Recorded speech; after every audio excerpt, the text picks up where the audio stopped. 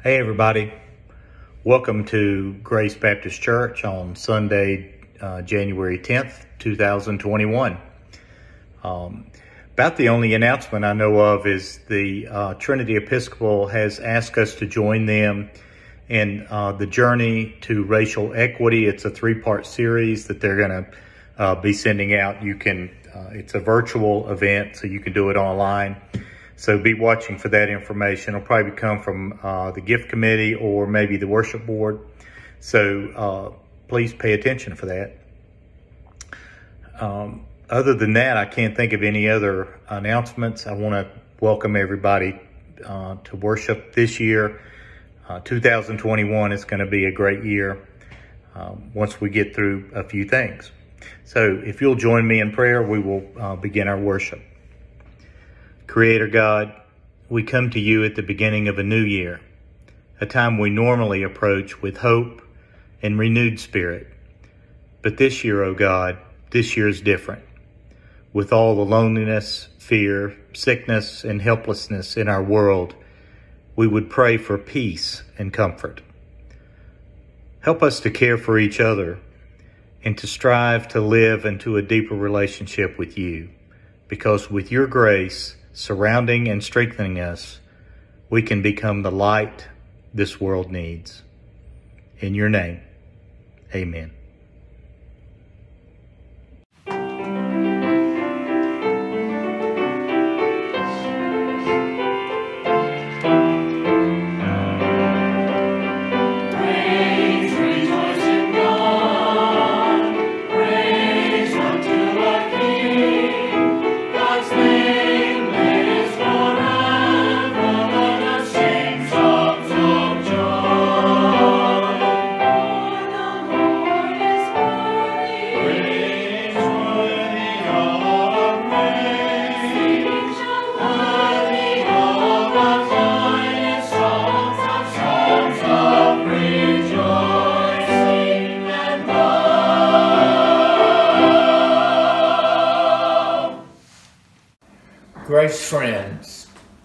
Enter the second week of 2021 with our prayers.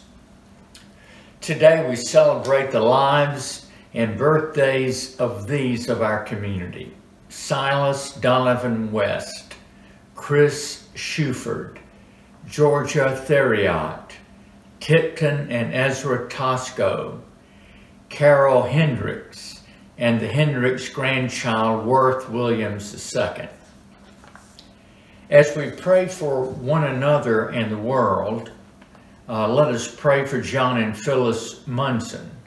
I heard this week that they both have COVID and are in the healing uh, process.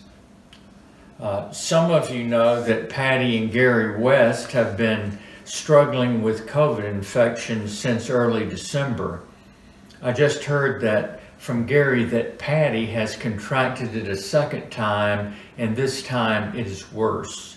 So let us keep praying for Patty and Gary. We pray for uh, David and Janice's family who have COVID. We continue to pray for uh, Gina and Brian. In a moment of silence, we will pray for these people um, lift up their names and then lift up the names of others whose needs bear on your mind and heart this day. And then I will offer uh, a prayer from the Episcopal Book of Common Prayer. Uh, it is a prayer for the nation. these prayers in the Book of Common Prayer have been honed through centuries of praying. So I will begin with uh, their prayer for the nation, and then I will pray that greater prayer that Jesus taught us. So let us pray.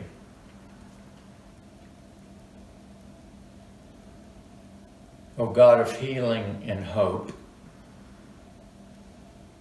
be with Phyllis and John, Gary and Patty, Gina and Brian,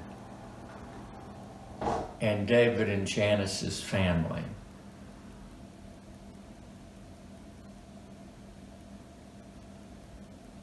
In your holy name, O God, hear our prayers. And now for the nation. Lord God Almighty, who has made all peoples of the earth for thy glory, to serve thee in freedom and peace. Grant to the people of our country a zeal for justice and the strength of forbearance, that we may use our liberty in accordance with thy gracious will. Through Jesus Christ our Lord.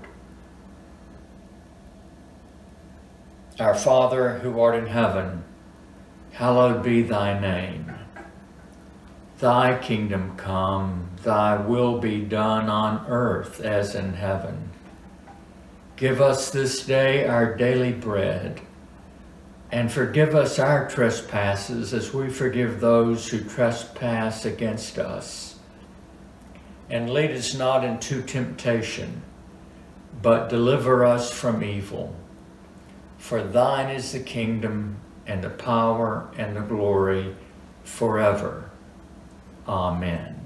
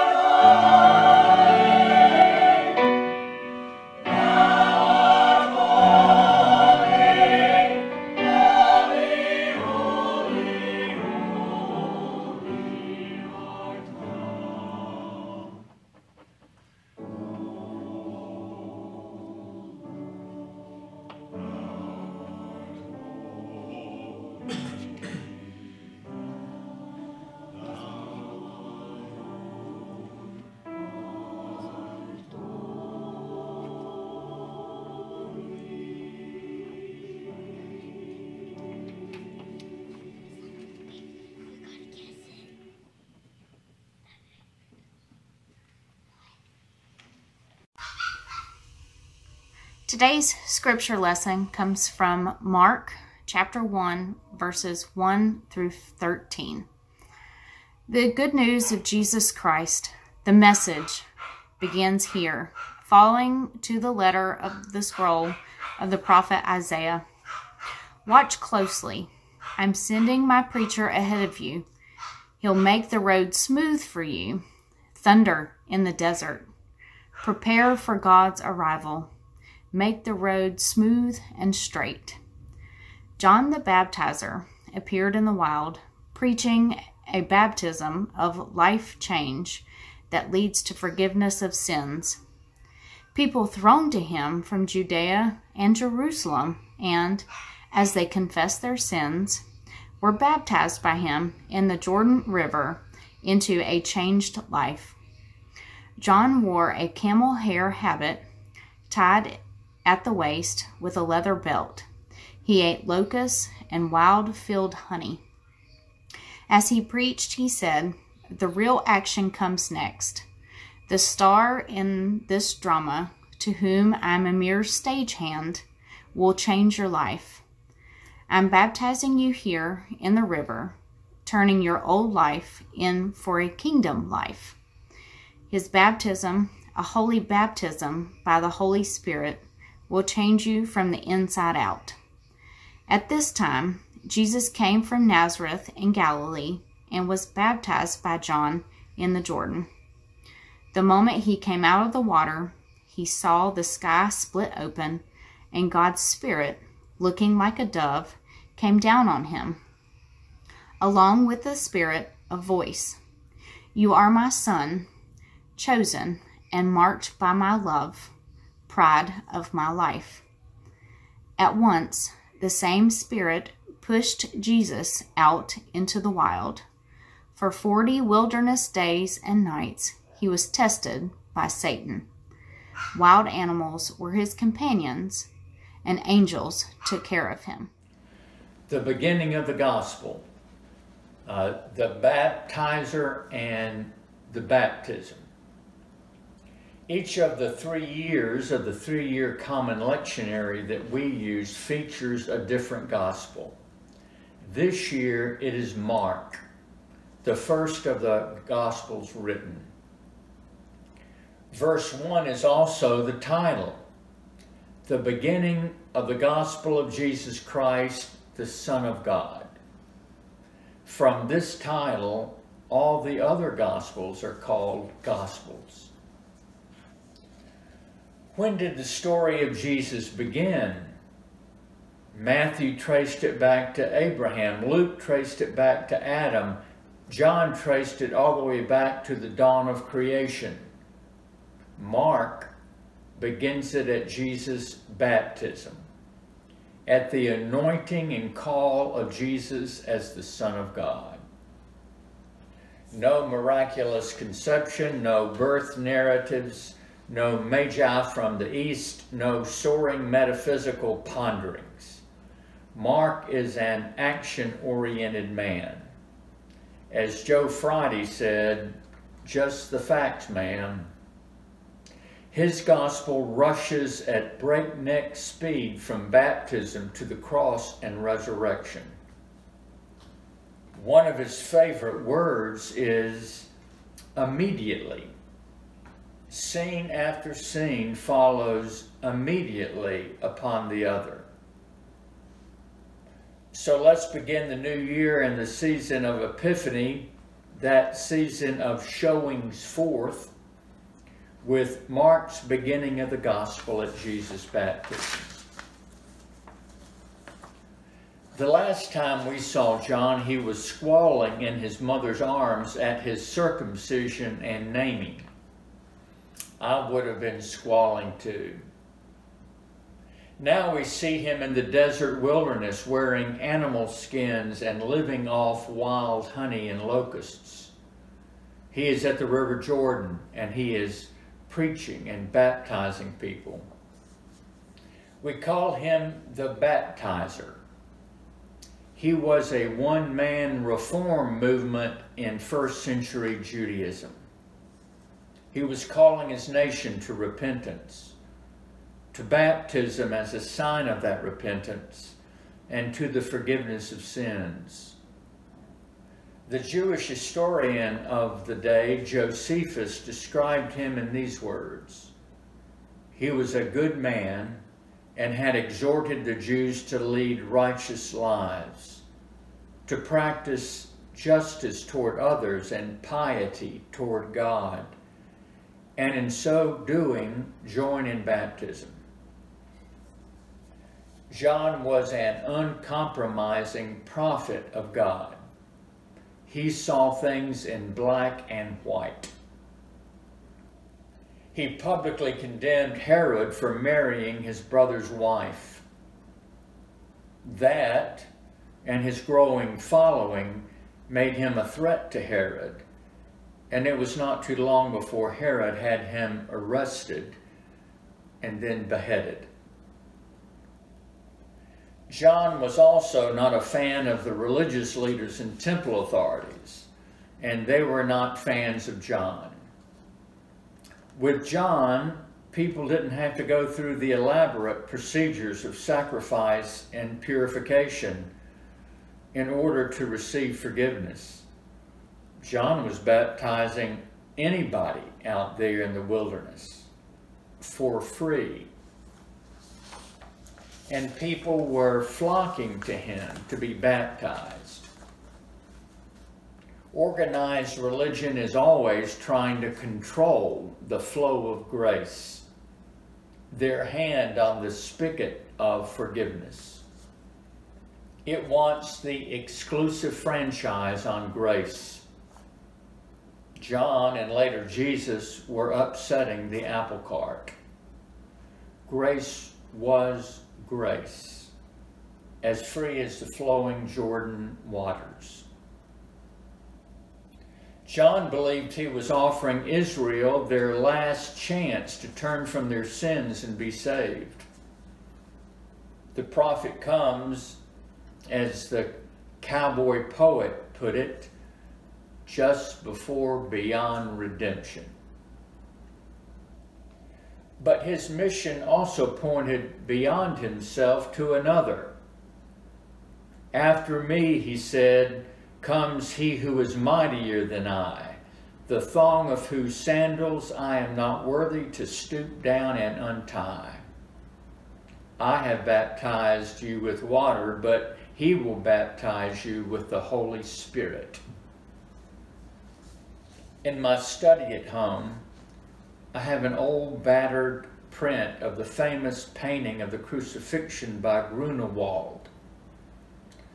Karl Barth, perhaps the 20th century's greatest theologian, had such a print in his study. It pictures Jesus hanging in hideous agony on the cross.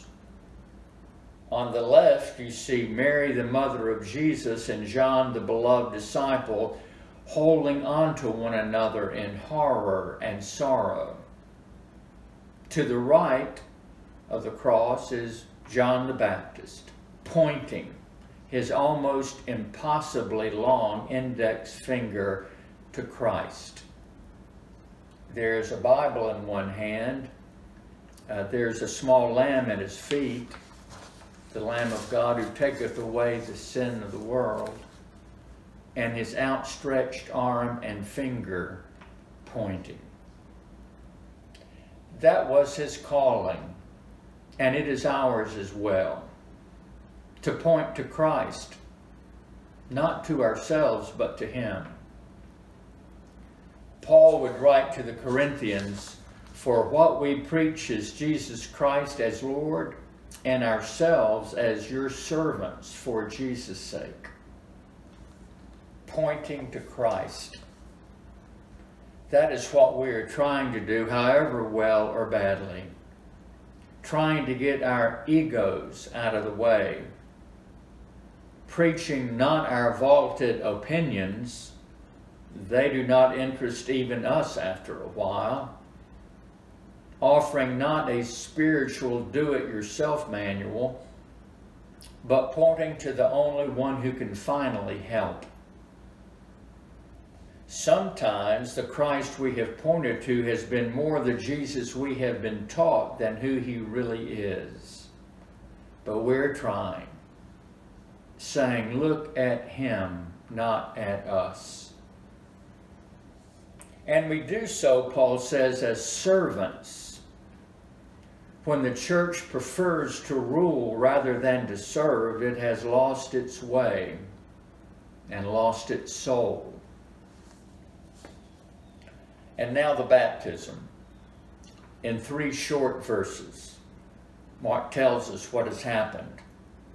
Verse 9 Jesus came from Nazareth and was baptized in the Jordan. Verse 10 When he came up out of the water, immediately, yes, immediately, he saw the heavens torn open and the Spirit descending as a dove. Verse 11 A voice came from heaven saying, you are my son, the beloved, in you I am well pleased.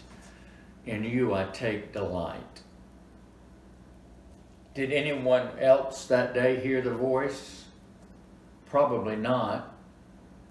Was this the first time Jesus heard something like this? I don't think so. From the early years of his life, I think Jesus knew himself as the beloved from early he experienced God as Abba, Daddy, Papa, the perfectly loving God, the one with whom he had an intimacy of a relationship of intimacy and confidence and trust. But there, in the river, as they came up out of the sparkling water, it was confirmed one of the most profound meanings of baptism for us is the receiving into ourselves the message of our belovedness as God's daughter, son, and of God's delight in us. A priest from Detroit traveled to Ireland to be with his uh, uncle Seamus, who had just turned 80. One morning before dawn, they went for a walk along Lake Killarney. They stood side by side and watched the glorious sunrise. Suddenly, the 80-year-old man turned and began to skip down the road, his face radiant. The priest said, Uncle Seamus, you look really happy. I am, lad, the uncle replied. Wish to tell me why, the nephew asked. His uncle replied, You see, me Abba is fond of me. Very fond of me. This is the delight God takes in you. Feel free to skip to church. But that is not all that is going on at Jesus' baptism. God was adopting Jesus as son, calling Jesus to his mission as the Son of God in the world. It was more than a bestowing upon Jesus a name and a belovedness. It was a call to be about the mission of God in the world. In the Bible, sonship, daughtership entails a calling. What is God calling you to be and to do as daughters, sons of God in the world? And how can we discern this now at this time and place in our lives? Which leads us, yes, immediately to the dramatic scene that comes next. Next verse. The Spirit immediately drove him out into the wilderness 40 days drove him. Here is the Holy Spirit not as gentle dove, but as in Celtic Christianity, a wild goose. A wild goose driving us out to where God needs for us to go and where we most need to go. Discerning where God is calling us sometimes entails a time in a wilderness a time away from all the voices but God's, a time when things are shaken up and rearranged. It rarely happens in a comfortable chair in the TV room. For Jesus, this discernment of who he was as the Son of God involved a time of temptation, testing, as Mark says it, tempted by Satan. Mark provides no details about the temptations, but it was all about his vocation as the Son of God. Matthew and Luke filled out some of the details. Would he turn stones into bread when he got hungry? Would he aspire to be the emperor of the world? Would he do a somersault off the top of the temple and parachute himself gently to the ground surrounded by angels to prove to all who saw that he was indeed the Son of God? What kind of Son of God would he be? Would he be a minister for himself or for others? Would he rule or would he serve? Would he be spectacular, the golden chosen one, immune to the dangers of life? Or would he go faithfully, trustingly, bravely about his mission all the way to the cross? I think we all have similar sets of testings and temptations about what kind of daughter or son of God we will be.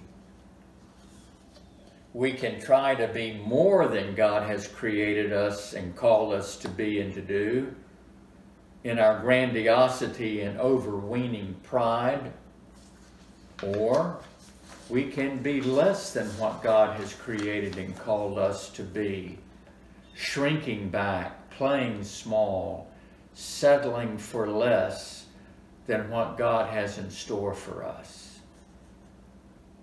What will we do with our belovedness? Our calling is not a dreary obligation, but the freedom to be exactly who you are. The poet Mary Oliver asks, Tell me, what is it you plan to do with your one wild and precious life? What a way to start a gospel. What a way to start the year.